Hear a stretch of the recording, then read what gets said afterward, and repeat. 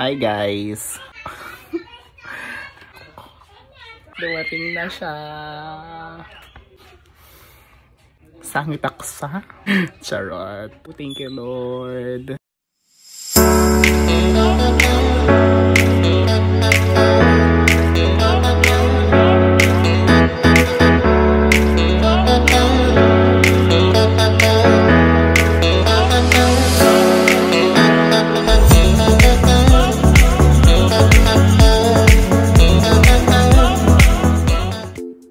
Guys, this is Leonard and welcome again to LMS Vlog.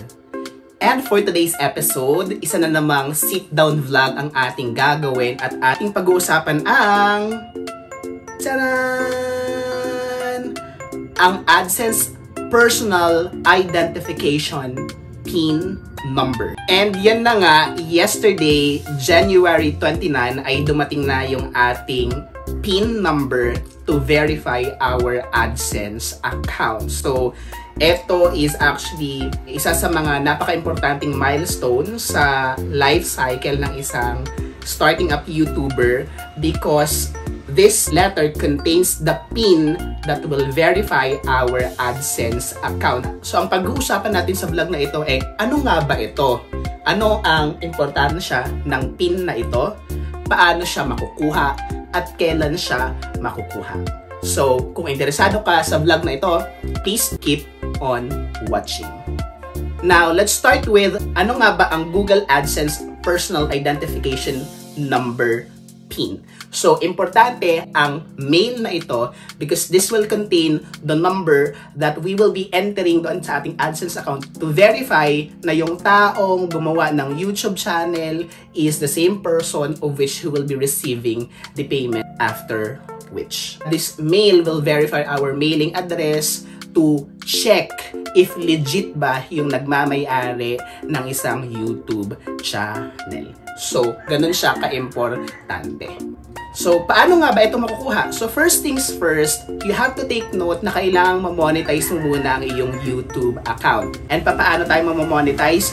Every YouTuber must adhere to the requirement ng YouTube which is ma-reach yung 1,000 na subscribers plus yung 4,000 watch hours. Then you will Undergo with the evaluation process para ma-verify ng YouTube that we are eligible for the YouTube Partnership Program. Based on experience, isa siya sa pinaka-crucial at isa siya sa pinaka-nakakakabang experience kasi um, YouTube will evaluate yung mga vlogs natin na ina-upload natin sa ating channel and they would be checking if valid ba, maganda ba yung content na pinaprovide natin, and are we eligible to become their partner on the YouTube Partnership Program. So, we don't want to be denied, diba? So, nakakakaba yung, yung, yung, yung prosesong yun.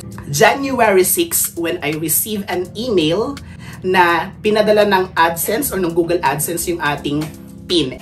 At at the same time, when I check my AdSense account, naka-notify na rin doon, meron na rin notification na sinend doon na nakapag-send na nga sila ng PIN at nakalagay doon that it would take around 2 to 4 weeks bago dumating yung ating PIN dito sa bahay. And finally nga, yesterday, January 29, so parang it's almost 2 weeks lang, okay, or less than 3 weeks na dumating. So, uh, in our case, medyo mabilis yung yung proseso ng pagdating ng ating Google AdSense PIN. So, the next question is, kailan nga ba magpapadala ang Google AdSense ng ating personal identification number to verify our Google AdSense account? Okay, ang sagot dyan is once na nakapag-earn na yung ating account ng at least $10, yun yung tinatawag po nating verification threshold. So once na na-reach mo na yung $10 na kita doon sa iyong Google AdSense, automatic Google AdSense will send you this mail. So we need not to request okay, a Google AdSense PIN because once na na-reach nga yung verification threshold amounting to $10, automatic magsisend na si Google AdSense. So, take note na magkaiba ang verification threshold at ang payment threshold. Now, ano naman yung payment threshold? Payment threshold eh, yun naman yung $100 na kumbaga, you need to accumulate doon sa Google AdSense account mo para makasahod ka sa YouTube. So, hindi pa po tayo sumasahod sa YouTube. Nag-iipon pa lang po tayo. But we will get there. Through your continued support in watching our videos without skipping, of course, yung mga ads na nilalagay po natin. Now, meron ding importanteng note na nilagay si Google AdSense when they provided me that they have already sent me the verification PIN at sinabi doon na it's important that you have to verify your account in 4 months dahil kapag hindi natin na-verify within 4 months yung ating Google AdSense account, eh, it might be that Google AdSense will stop putting in ads sa ating channel. And we don't want that to happen. So, anong mangyayari kapag within 2 to 4 weeks hindi mo na-receive tong mail na to?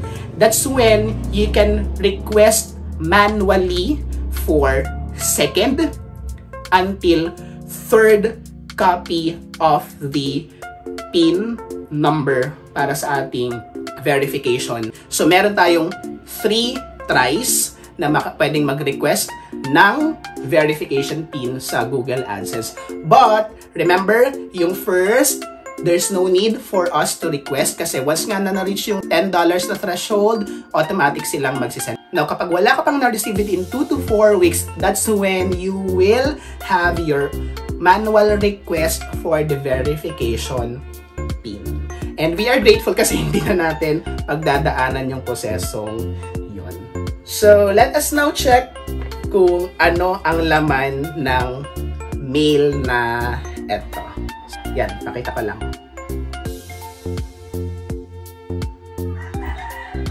Tapos eto yung likod. So, yan. And eto yung likod. Buksan na natin. So, remove the side edges.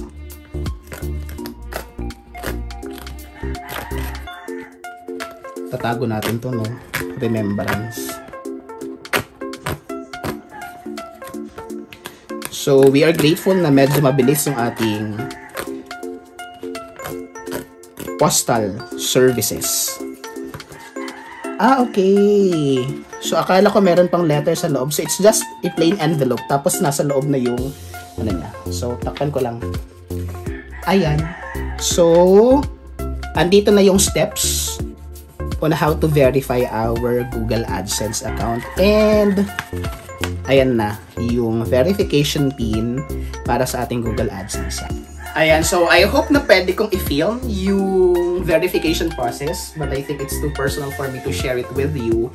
So after this vlog, I'll proceed now in verifying my Google AdSense account and ayun, hopefully nakatulong tong vlog na to in answering the frequently asked questions kung ano ba nga ba ang verification PIN, what is the purpose of this mail, paano siya makuha, kailan siya makukuha, and the likes. So thank you guys for watching and I hope to see you on my next vlog. Hello mga ka-Eat Saturdays! Narito na ang ating comment of the day and special shoutouts kina Adrian De La Cruz, Shoutout din tayo kay Mother Herminia Tongkalo ng Korea.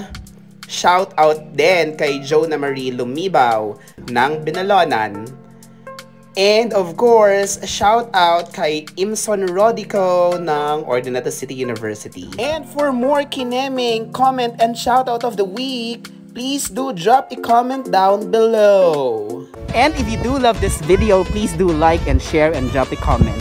At kung bago ka sa channel natin ito, Huwag kalimutang mag-subscribe at hampasin ang notification bell para ikaw ay parating updated sa ating mga newly uploaded videos. Thank you guys for watching!